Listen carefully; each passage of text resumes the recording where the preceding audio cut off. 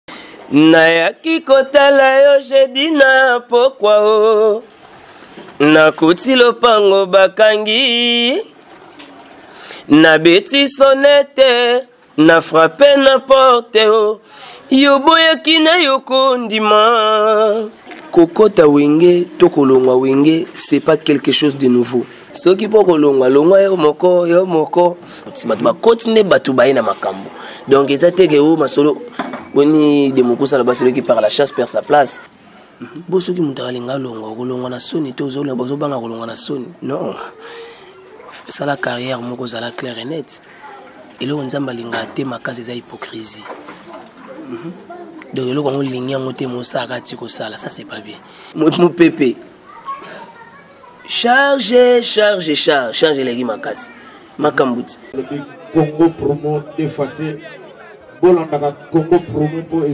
ezoloba verité obalobi avec congo promo it's not the same c'est pas pareil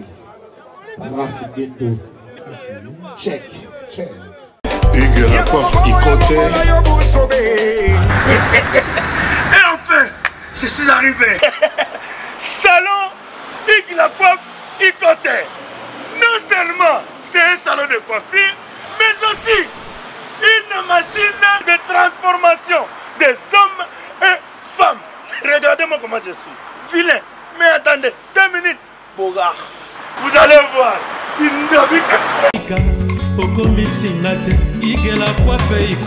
Hugues la coiffe Icoté. Votre salon de coiffure mixte afro-européen situé sur la Nationale 3 au 174 avenue Aristide Briand, les pavillons sous bois. Pour plus de précisions, veuillez nous contacter au 01 41 55 00 00 ou encore sur notre site huguelacoiffeicoté.com. Nous sommes ouverts tous les jours de 8h à 20h même les jours fériés. Hugues la coiffe Icoté, l'homme qui coiffe la ville. Hugues la coiffe Icoté, le salon de coiffure mixte afro-européenne de proximité. Au 174 avenue Aristide Briand, les pavillons sous bois sur la nationale 3. Un seul numéro 01 41 55 00 00. La beauté de votre chevelure chez votre frère Hugues Coiffe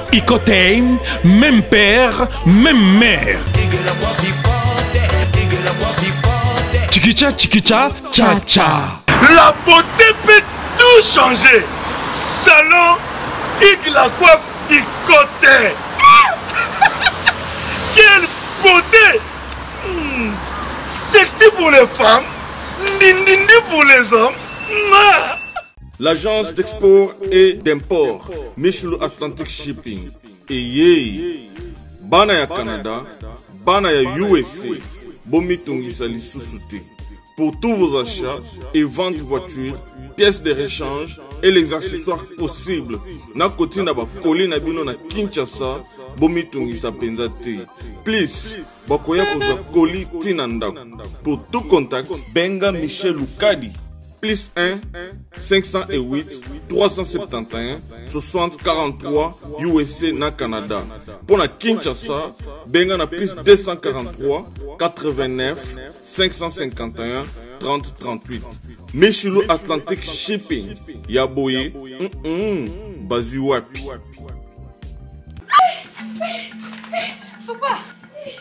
nina nga nazali agent jb service koli na bino ekomaki bana biso yebi mwana wana atambusanga komene mpona baagence ye kutuko nazelaka koli onga nazelaka mpa na ye eza akufa batindela ngai mpe awa bato ya tembe basili sibe service yango oyo josé baida ah. ayebisaki yo awa eza te batindi oyo oh, ezomonana te awa soki batindi bozwi koli na bino mbala moko papa mbala liboso yango oyo tozwa koli ya poto bana mwana kenda antuka sibe service josé baila ntango pepe kale ayembaka bapesaka kombo ya mapasi mpo namonaka mpasi bapesaka kombo ya bayila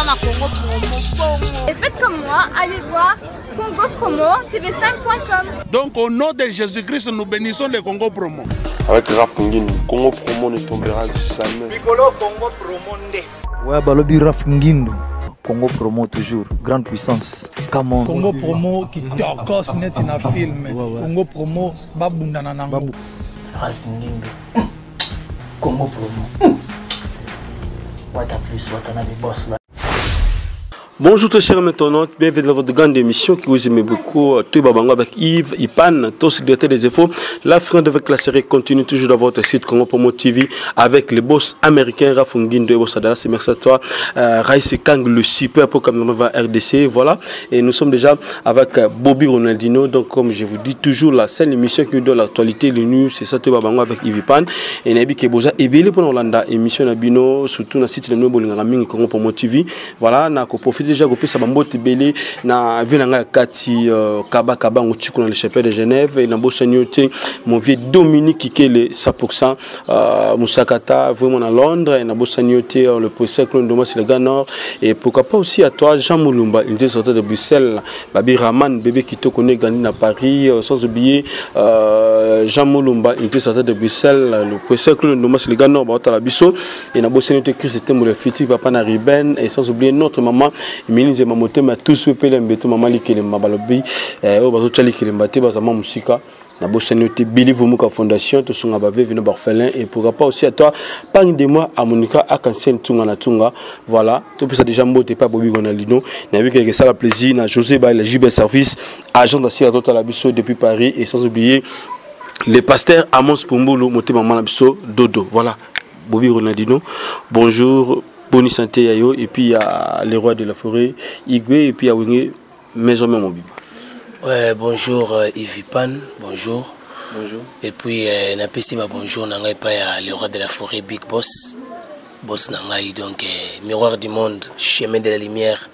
Mhm. le roi de la forêt et puis napesi bambote na mwasi deji mampata nayebi kaza na états-unis na baexaucé na gladi mhm. donc eh, famille royale mobima napesi bango bambote esika bazali santa wenge muzika epuis sante na ngai donc ça va kua biso tu toza pepele done tobalaka tous pepele ya mbetolo ça c'est bien et anniversaire no tozala lobi bato bazalaki euh, au courant likambo yango basaki batesto bavoice esaki no ndenge nini ntango omoni obakisi susu mwa mvula moko na kati ya oyo ozalaka nango déjà et lelo aussi au sein du wenge musica maison hein? ouais ça fait toujours du bien ça fait toujours du bien par rapport à nzambe ndenge abateli biso hein. Mhm. omoni kobakisa mbula moko eza na 365 jours hein, si je me trompe pas soki omoni ezali eza ebele soki bino okokisi yango pa okomi ntina date obutamaki ye lisusu ezoyaka donc faut pesa toujours dieu merci ngai mpena na fete yango vraimen mingi teke bafete avec les gens boire eh, et tout mhm. ngai na fete yango kaka mingi mwana naka église ngai nakendaka église nakei nakumisi nzambe ndenge abakiseli ngai mbula moko donc eh,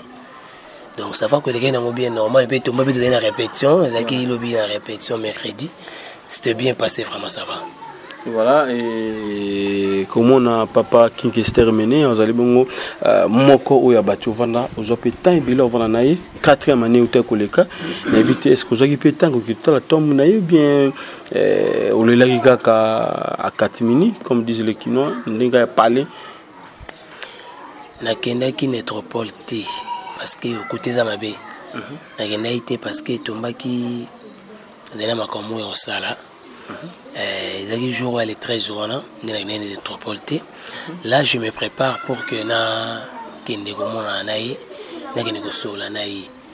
donaki emona ye mpe nasola na ye nazala kuna je crois courant ya semaine awa nakokende angola avant tokende angola nazala kuna parce que omoni ngai saint valentin na fete yango suti parce que evalamana koza aboma ngai saint valentin moni se valentin ezalaka le 14 ya kufa le 13 donc date wana se rappelaka nango parce que ntango nautaki poto c'était prévu na ningani abeta concert moko mm. le 14 eye kosala sikoyo ke evalama na cause ya daye moye le 13 mene beta le 14 eza te to bato basima miso milaka babillet et tout des trucs comme ça donc eh, nakobosana ye te mpe ya son ame nzambe abatela esika azali nzoto na ye vraiment epema na kimia ngai mwana na ye bobiko na eldino nazali naza toujours reconnaissant na ye epuis eh, petit frère propre na ye jonas mbese petit frère propre na ye ya noel ngiama weranson le big boss mm -hmm. abosani ye te areconnectake toujours ntango amonaka nga abengaka nga toujours king kester abengaka nga kester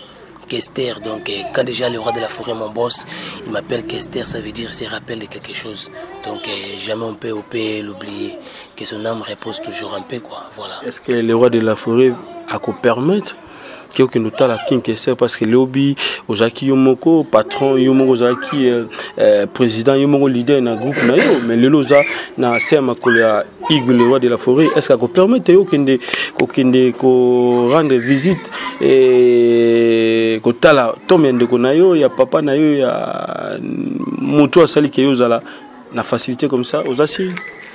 wana nga na yebisa yo ke le roi de la forêt jamais ko ko boya wana grand frère na ye wana grand frère na ye déjà soki koboya nde anga azwa nga na kati ya orchestre te donc ti azwa ngai areconnectaka grand frère na ye et puis na savoir faire na ngai donc voilà akoboya te donc déjà nasenga nzela bapremete nga basenga babi non non non meme ata ye moko soki aza na temps akozala wana oketala ye donc eh, eza kutu te ke ono oh, kokende te opekisa oh, nga pourquoi ya moto makambo wana te mhm. bato makambo wana baza oyo bazala mpenake rankine eketi na sa mabele toka ndeke ti na sa mabele ils étaient bien ils étaient bons avec son grand frère grand frère akenda donc eh, problème eza te ngai nde nazwaki mwa empêchement mais je dois y aller mais quand même na participaki na concert moko victor ebetaki bainvitaki ngai nakendaki wana abetaki na ville le 13 wana non après ah les jours suivants non ah. après les 13 les jours suivants ah, les samedis les samedis les samedis abetaki na léon hôtel mm -hmm. j'étais parti faire un tour et puis euh, nayembaki chanson moko mibale elekaki mpe très très bien donc euh, mpona toujours komémoriser toujours evalamment la cause voilà voilà ntango toza pembe na bagrand chanteur il faut toyokaka mpe mongongo toyoka mpe voice ndenge ye moko ye mei euh, le faking kestemene abandaki koyebisa biso le défunt euh, voice esala plaisir na bandeko baotala biso surtout na véronique wasianga totala biso vv na kati ya paris euh, esasu plaisir na ninel chama aotala biso mpe depuis paris voilà bobi bonadino tikeli omoi eloko moko oyo omoni kosala plaisir na bafanatike ya wenge musique ya maison mais ya victoria epuis baoyo mpe balingaka yo moko etake chanteur monene na kati ya mboka na bi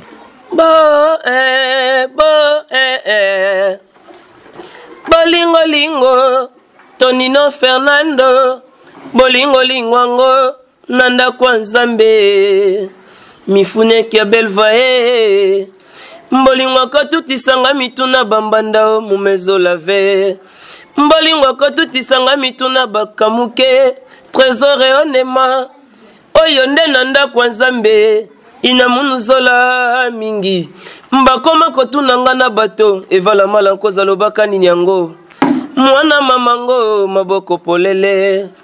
mwana mamango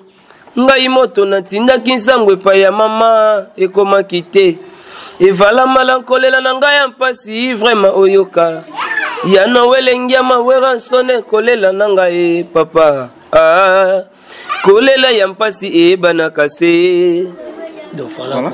bafanatike ya maison mare mpe balobi bobi kona ezotingi biso mwa plaisir na bango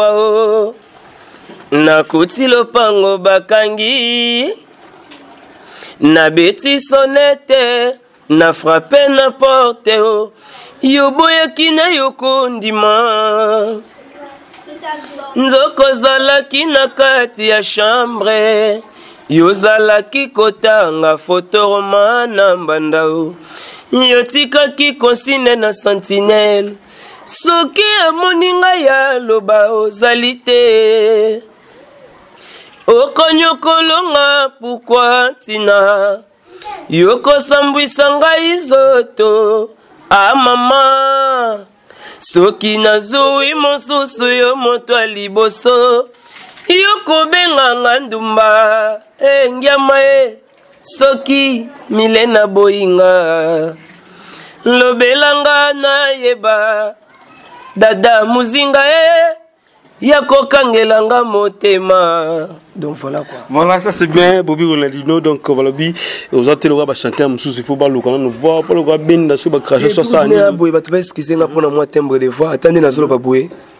angine ezobeta nga mm. na na tout Voilà. donc moi biso ozaka bachanteur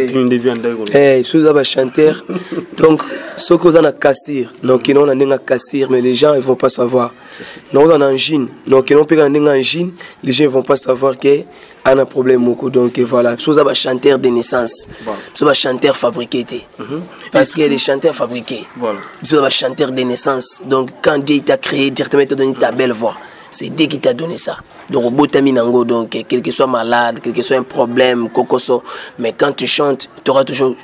quelque chose de bien voilà ça c'est bien mais eh, suite ya chanson kitoko oyelaka biso mama lele bilamba wana ekenda wa bibobi chanson na lela yango fort et puis euh, bambro state baotala biso ba ml lycée mokengedi baotala biso libana mboka balela chanson wana osala te nayebi tika jani sita hmm. bazolela chanson wana babi mais suite na yango tokozwa yango susu ndenge nini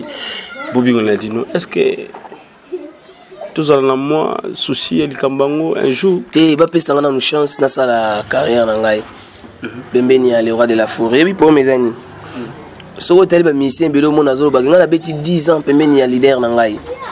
ngai nabeti 20 ans pembeni ya leader na ngai ngai nayembi ngai nayembi 20 album ngai nayembi 5 album na leader na ngai siko biso baronaldinho nayembi kaka na king kestere mene album moko le jour le plus long nde tokokende poto tokebeta ba olympia et aujourd'hui j'ai envie de chanter je dois chanter bapesanga mpena temps banzembo wana jour tozwa chance le roi de la forêt akangelaka bamisien motema te afungelaka bato cœur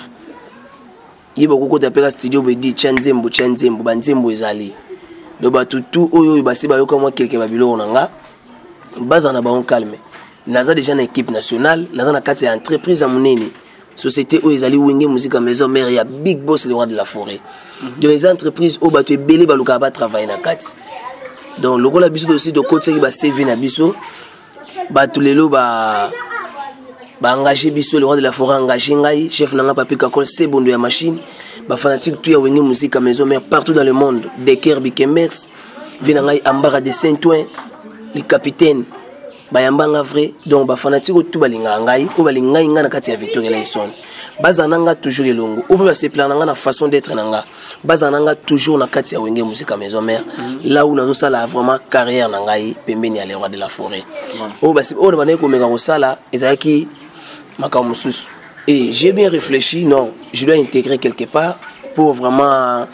nasala carrière na nga pembeni ya leader oyo aomonisa ngai sous dans le monde parce que na plan ya scène tobungaki tokenda bapoto tovandi na poto towumeli ozongi kini boye ekozonga yo mona bacascade osala makambo na yo eye kosala soki okei mene ya pakufaki donc maintenant tu dois intégrer l'orchestre au place il faut bato bamona yo lisusu et c'est que l'orchestre c'est wenge musica maison mère là où je travaille maintenant donc bafanatique wana tout bapesangaka chance batala biso place tozali nde totravaille je, je suis sûr que ça va y aller et bozala très content bosepela toujours voilà rappele biso mongo juste pour ata 30 secondes mongo be chanson wana esala plaisir mama na biso emili nzemba motema ya tous pepela mbetolo euh, balobi mama likelemba esala so plaisir na bili vomuka fondation c'est parti mokolo ya liboso tokutanaki na jani nsita na kati ya switzerland o me asepelisaki nga mpo alataki kitoko ezalaki yeyeyeyeye o elambo yo elambo yo kitendi totika te elambo yo elambo yo molato totika te o donc voilà quoi voilà ça c'est bien et je pense que esali plaisir euh, na bandeko to baotala biso surtout balela la bonne musique voilà et bobi kuna dino ntango ozomona lelo jamaïque oyo azalaki bongo euh, moko ya bamusicien mai na rdc na biso kaka osala mosala ne libanda lelo akoti wenge musique ya maison mais par rapport ya absence ya ndenoso ambulance esali yo na ndenge nini komona ambulance akei directement Jamaïque akoti aye mpe na moto na ye epuis sans trace ke motu moko mpe azalaki akei esali nao ndenge ntango ozomona ke eh, mwana mobali yango mpo asala mosala na ye bien kokota wenge to kolongwa wenge c'est pas quelque chose de nouveau chez le roi de la forêt donc avanda boatala abi c'est déjà vie c'est déjà entendu kointegre ou bien kolongwa kolongwa to kokota donc ça veut dire komona neti animateur jamaïque oyo tout le monde ayebi aye kosala test na kati ya wenge musique ya maison mère c'est ça qui montre la force de le roi de la forêt parce que biso obengaka ye leader de leader gère de leader yango omoni le comme weranson le roi de la forêt big boss ye agéraka baleader yango namoni lelo oyo génération moko ebimi oyo tobengaka génération weransonique donc génération weransonique maintenant tout le monde que vous voyez na baorchestre bazalaka na posa ya koya kopasse mpe temps na ye pembeni ya le roi de la forêt donc akomata pampam pembeni ya weranson big boss yango namoni lelo jamaïque aye donc eh, bana poto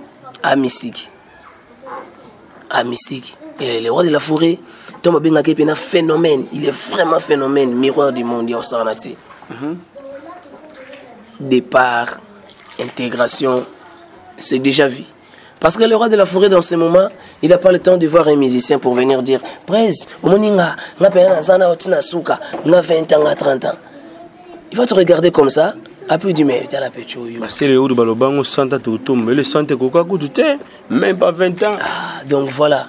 donc nga nalobaka tata mapasa topesi bambote ebele plus 10 nga nalobaka ke omoni weranson le roi de la forêt aza leader d'opinion il a le soin de gérer des leaders dans l'orchestre Wenge Musica Maison Mère. C'est pour cela aujourd'hui nous voyons la génération Werasonic. Jamaïque, c'est pas quelque chose de nouveau, mais bakaki koluka mosala na kati ya société ndenge biso baronaldino totikaki tout est ce que azalaki déjà ya kobatama na wenge ou bien ntango ambulance atie mbala moko epuis mena oki bopesi mpe komo mbala moko eh, croix rouge obenge croix rouge croix rouge eza animateur mosusu ah, wana donc croix rouge amemi ambulance ah! ye vatican wana makambo donc ye vatican te ngoto émission oyo nalinga mpena mingimingi hmm. neti masolo ndenge otuna masolo ya bacroix rouge mm. masolo ya banani mpo bato bakoti nde bato baa na makambo ti bato bakoti nde bato baye na makambo donc eza te ke o oh, masolo boni de mokusa aloba celui qui par la chasse perd sa place mm. donc quand tu bouge ya quelqu'un oyo aza libanda azozela kaka ke ronaldo oh, nalongwa kaka wanga nakende mbango mm-hmm. blague te wenge mosika eza orchestre te ke o oh, bana koluka bamisien ya contrat te ya les gens qui ont envie d'intégrer l'orchestre baza na bacoin bazela kaka oyo ya bouge ya ya rapide pembeni ya werrason loka de la forêt donc oza équipe nationale ya nango te ke o oh, soki nini te tant qu'il y a le roi de la forêt big boss il peut recruter aujourd'hui demain et après demain il y aura toujours le fanatique oyo baza derrière ye ezala toujours bafanatique na biso ya la samba bakoya toujours ka nde bayaka mhm. ebe otuna te ke kingani aza api kama bango bachange babi alongwa na ye ti po public na biso la samba bilaki ti eh, public na biso maison me ezala bongo hmm. ata na couple na biso ya nouvelle génération bayebi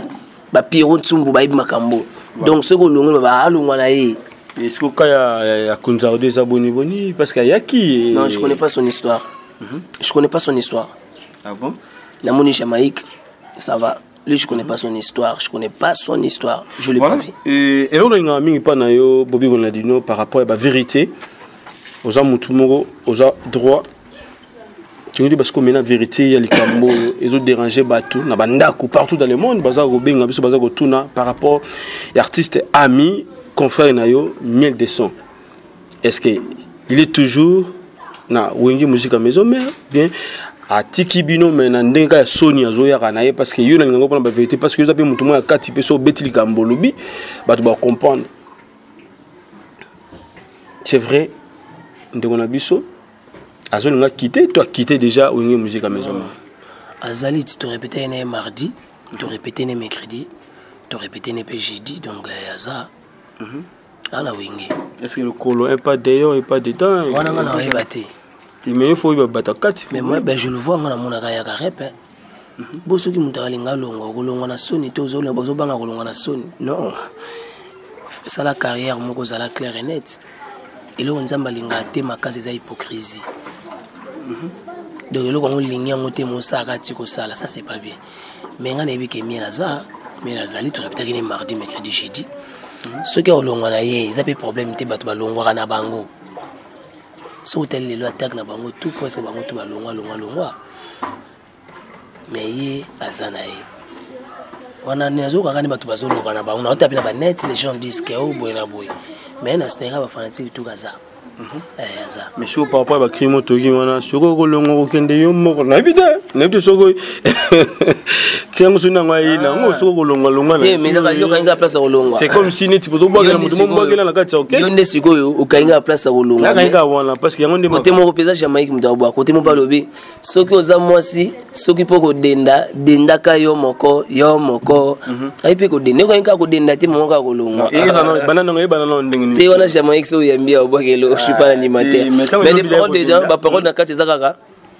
hmm?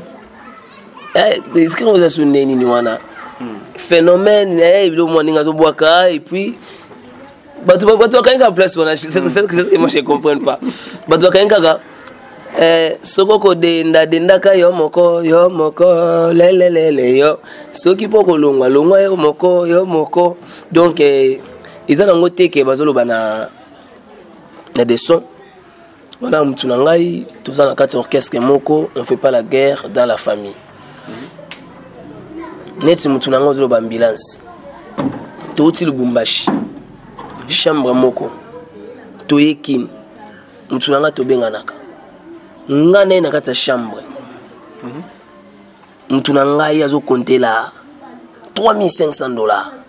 na lubumbashi komanso okenda lubumbashi oh. mais lubumbashi tozwa lara osakana te hmm. et puis lubumbashi ana ozomona wana donc chaque conseil soki conseil esili réception ezali toyoki réception gouverneur azoyamba biso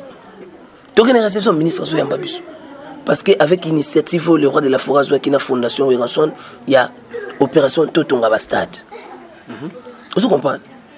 mais bamasta bazoyeba nde te mpo contrat nati ezosila awa okomona mpe le roi de la forêt asololi be gouvernement ekamwe babino on a jamais vu un musicien comme ça dans le monde andima kobeta baconcert entre habilité wana tout apesa yango na ministère ya sport mpo batonga bastade basala makambo ah mais gouvernement mpe okobi bon bopesa bapetia na baprado bopesa yango bapale parce que bauti kosala grand boulot to na 26 province nga motu na nga mpengata chambre mpena pampampa 3500 dollars epuis afa tokende voyage wana biso tu na la samba baenveloppe salasala ive moi je te dis paix à son âme mon papa king kester emeneya lelo aza te bamasta na nga victoria bayebi mhm. soki tozwa salaire na victoria loba ezali concert moko ya sponsor bobeti concert alomona vizako mubiala mm -hmm. avec grand chasse viva kana nsima podo mabendi mwa bafrancesco mm -hmm. aopesa bino mais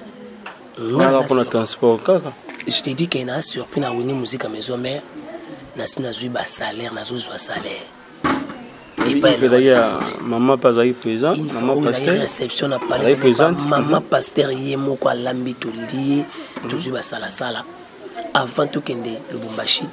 le roi de la forai bofete libanda botika famille boye te en velo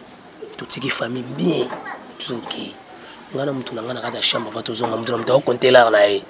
tantantantantantantan oyobela motu na ngai 3500 bale nabi e yo bopesani mokongo to botala na tovandi benga na konte ya ngai hmm. na baya ngai ya ngai nakoloba te na baka ya motu na ngai mposo na bi ya ngai epesa fo donc moto na ngai pena donc grand kingoma tumvini na kin pepele repanda makambo tu ese ya bandai kosinelo ata na mwa batesto te na mwa bageste maloba sage te dirin mhm. te omoni eh, mopepe charge charge charge charge eleki makasi makambo ti omoni eza na ezaka moto oyo aza na likambo na kati ya motema ye moko ayebi likambo na ye mais départ na wenge c'est du déjà vu il y a eu des grands départs oyo etoucha le roi de la forêt oyo oh, lelo ata nzinzaki otouche yango ete il a un grand cœur maintenant parce que il a eu trop de chocs bana mosusu oyo encadré moi ça me fait très mal par rapport à quoi devoir de musicien oyo oh, oyo viwana afungolela ker le roi de la forêt big boss afungolela bango ker mhm. boyemba bosala makambo mais moi ça m'étonne des fois je regarde, je regarde à la télé et je les vois ignorer wenge muzika ignorer weranson moi je me suis dit oh mais seki bazali na bacomportement caché na bango yango hypocrisie eza mabe tolingaka président na biso weranson na motema mpe bolingo mais eza affaire ala yoka simobi ndenge ozobeta masolo lelo mpena star moko leader moko ateli mwa 20 000 mpena 20 000 dollars na minute oyo abiyaka na oyo integre mouvement na ye okobeta masolo ozobeta soki na wingi mosika maison mare mhm. je peux gagner ma vie pour gagner ma vie c'est pas 20 000 dollars okozwa 20 000 dollars osombi mpe car lobi nango mpe car esala accident loba ezala ya libende ya blende oyo pene epanzanaka te vitre epasukaka te bimaka te esalaka mpe accident te edaye kaka edaye kaka so carrière no place okeske carrière no osala yango mpena bien pendant toute ta vie ou bien pendant un grand moment donc ivre wana ayebisa yo mbongo mbongo te tolinga nanu orchestre linga nanu société na yo donc soki nayebi linga nanu eza loka neti pays na yo yo ovandaka nga pays nanga navandaka eza wenge muzika maison mare sikoyo funa linga nanu mboka na ngai nalinga président na ngai parce jusque là orchestre etambola bien naza pepele bafanatique partout dans le monde il y a des petits problèmes mpe eyaka nango ça arrive entre nous les musiciens mais on s'arrange Il y a le chef qui est là, Papi Kakol, c'est bon, il y a machine. Mm -hmm. Il y a le chef Bicorin qui est là. Donc moi je peux dire que kolongo ezaka selon boule na yo mais tolinga le roi de la forêt na hypocrisie te aza père mo azalaka bien azalaka père mo azalaka bien eyebi bato baleka na batv bamission ya encadre oyo afandisa na bapalais abokoli mais aujourd'hui obwaki ele mai na makolo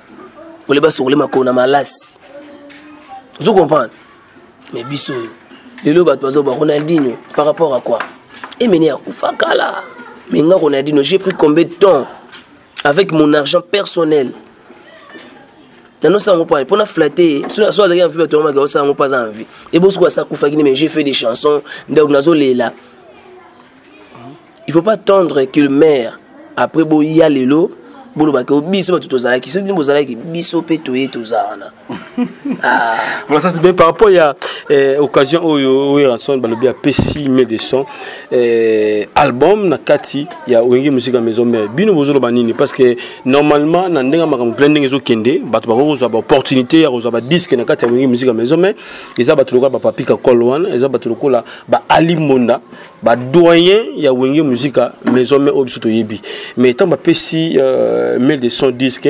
et to équipe euh, ba tout mususu pe na kati wana bazo mimi ba sepela te bino mosiko bozo bana ni ensemble tant bozo ka makambo que le roi de la forêt a pesi euh, mail de son ça la disque mais azane kaka na kati ya wenge musica maison mais eh, il faut moni le roi de la forêt de ba stratégie belé soki apesi ye diske sa moi je sais pas ngai nayebi kaka ke torepetaka na ye aza na répétition nayoki nayebi mamosolo ya album na ye te azobeta yango ngai nayoki te namoni mpe te na mekona otune na olio na rep soki asa diske na otuna ye obongisa boswana na bino bakoma obongisa ah, wana collègue na nga wana collègue na nga motu na nga mhm. tosolaka pepele sans problème mhm. on fait pas la guerre entre la famille tant qu'on est dans la même maison on doit pas jeter de pierre entre nous ba coup de pierre entre nous na kati ya palais moko te ça peut aussi arriver te nga nde naboye nga na ji parando hmm. nga na ji parando nga naza na telemi kaka pembe na big boss na otidi hmm. nga na otidi voisin moko akotisa ye soinisa père na nga directement nazo atake yo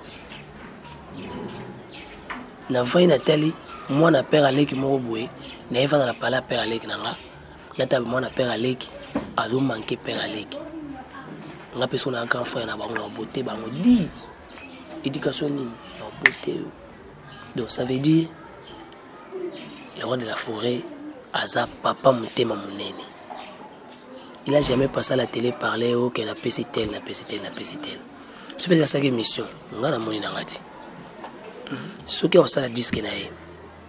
ye moko ye moko mais nga nazoyebi soki c'est du jour de la semaine l'album qui cartonne aujourd'hui eyebi ke bato ebele lelo babanga babimisa baalbum eh. bato bayoka so musique te bato yango bato bakolinga bango bale na politique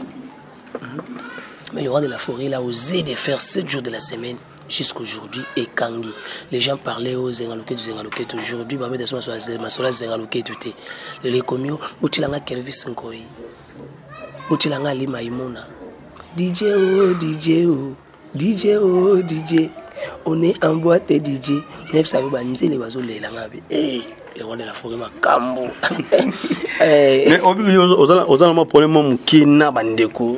ya awenge pcbg oyo basepelaki nao te par rapport ya bapropos na yo par rapport ya yuji esali nini tokitisi papa chéri tandis ke aza moko oyo euh, apesa yo mwa mosolo na ye mwa mbongo na ye par rapport ya moment oyo yo bandaki kolela ke voilà ozwa mwa 5000 dollar ozwa 5000 dollar ya papa shira kabela yo lelo ignore oboyi yoji eza haute couture te okitisi yoji die m'attend parler mhm. bato bakomantaka bakomante na bango mais nga ronaldino moi je fais pas de polémique nga na mama na sage mtamayele natanga banchiki ya kosakana te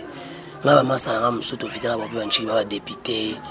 eh, na bamasta na badepute na bamasta na bapepino luzolo mhm. ozo comprendre na bamasta na nga bagelo rapido moi je te dis quand on avait fait l'émission otuna nga masolo ya bilamba mm. j'avais pas parlé j'avais pas intéressé na moto moko eza nzela otulaka kuna dino poto kuna eza ndeni mpo na forme mpo nga mama mwana moto akokosanga te ozo comprendre mais j'avais pas parlé na xy te soki peut-être obwaki libanga na mai yo obwaki no kaka peut-être place libanga ezokende mbisi azalaki na mbisi asali nini alongwe ti donc ça veut dire moi j'ai pas cité les noms des gens j'avais pas cité les noms des gens et moi je fais pas des polémiques parce que les gens qui cherchent des polémiques aujourd'hui le roi de la forêt obénéficier na yango te biso mpe toobénéficier na yango te mona ozo emission na yo toyebi biso awa ke 7 jours de la semaine ezo cartonne partout dans le monde bato bazoyoka yango bato bazolela bambrose tete bazobenga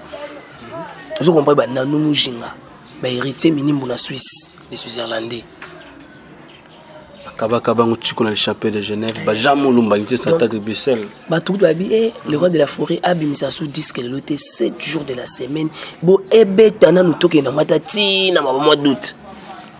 bana pena beso bayoka tous les chansons na kati wana donc mpo na koyebi biso ke nga nasalaka polémique te j'ai pas cité le nom des gens moi j'ai fait toujours la promotion de notre orchestre wenge musica maison mère entreprise oyo eza ya monene ya congo oyo edefandaka edefandaka mboka libanda donc voilà ozwaka tozwaka te est ce que euh, ezala mpe mwa reconnaissant est ce que ndeko apesa yo ntango eloko moko be te obeta histoire mona émission natikala kokutana na ye ata boye te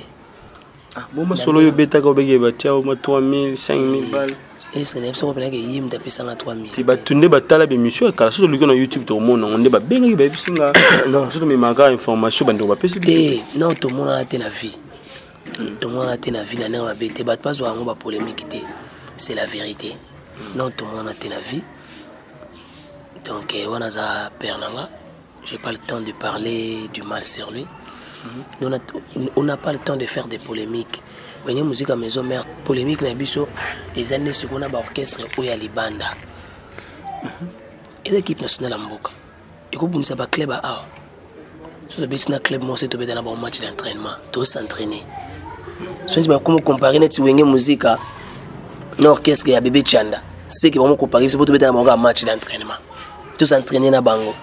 Mais comparaison pena que ya ba grand compétition, c'est qu'il faut comparer biso na ba orchestre ya libanda.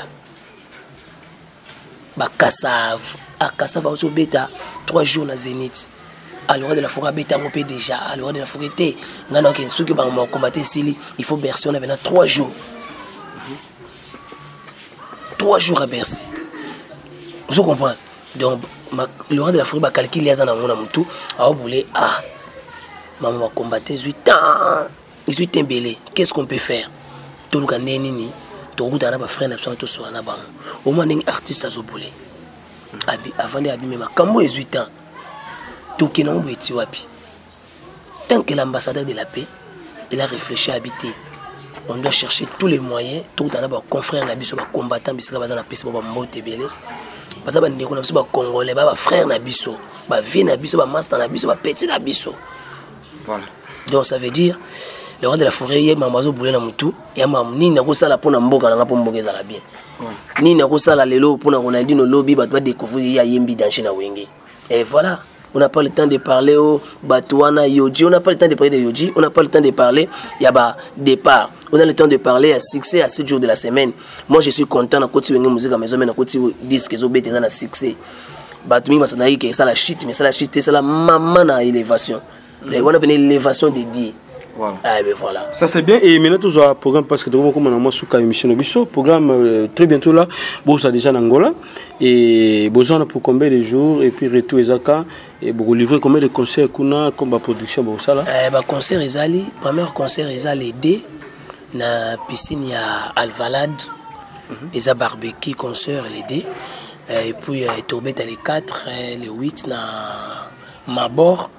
Mhm. Tabi na concert yango na Palanca.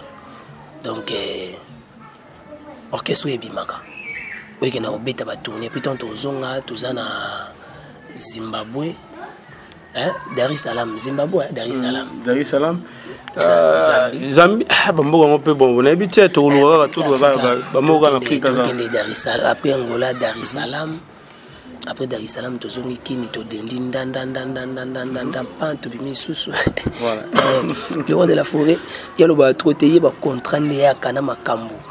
donc eh, voilà bokotia bana makelele bayebi na bango bango te mais bayebi wenge muzika maison mère weranson le roi de la forêt donc eh, bato tu balingaka wenge muzika en tout cas baza na bango mitema oyo eza ya kokita natalaki masta mona groupe akomi abi ah nzambe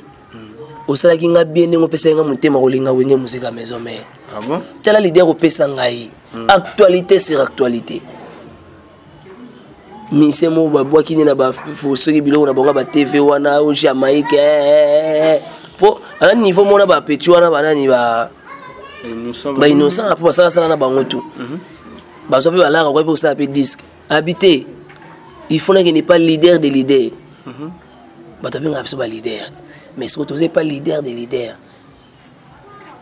le père de la génération werasonique moi je l'appelle maintenant comme ça bafanatique tout partout na monde entier babengaki le père de la cinquième génération génération werasonique voilà ça c'est bien et est ce que bafanatique ino déjà ya angola bazo préparer nini baza déjà kozela maboko afuma parce que yo nayebi na ngola déjà ya pas match ya pas photo ah, bamigi nima déjà baza wana papa ngelingi eh, migi aza wana et puis eh, le boss de boss masamba roki da silva aza mhm. wana mama moniki do na monika mama sociale nabosani te jean ndombele bibliothèque internationale mhm. alex fumusi hymne national mhm. eh, mon boss chico kamufa roi bilamba na luanda weston chimvundu weston chimvundu le boss donc eh, bato tu wana bazali bango tout baza deya mobilise bapolo esi esalami mhm. ba-t-shirt wana tout donc babanderole bamakambo tout mpona koyamba artiste na bango ekende bien donc voilà voilà liloba suka na bandeko mpo ketoka bana bobingo na dino euh, voilà eh, ya suka eza kaka bafanatique to wenge mosika maison mare merci mingi na baencouragement na bino oyo bopesa biso merci mingi mpe na basoutien na bino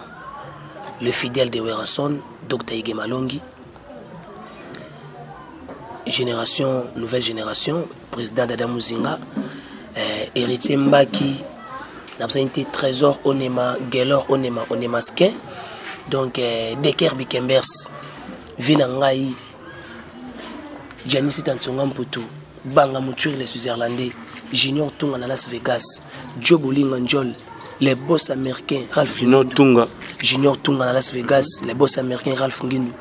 Bobi Ronaldinho yeyo. Donc il y a Jonas Mbese, maman nanga Arla Badiama, bamboti na bino bisika bozali.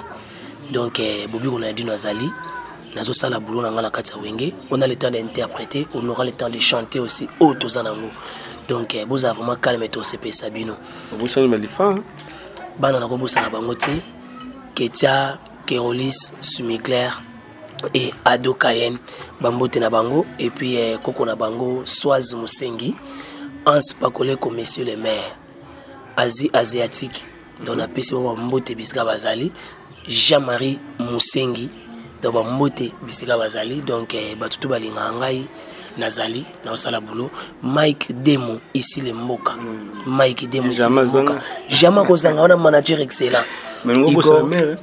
igor lobaki igor lobaki jason mpeti donc bato tu balingaka babobi ronaldino jc omeonga le jeune pato tous pepele ya mbetolo motema ya mama emili nzemba na londres donc bato tu bafanatique tu ya wenge mosika maison mare napesi nao bambote bisika bozali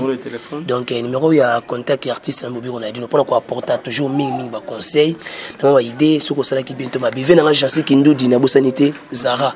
donc kitoko kua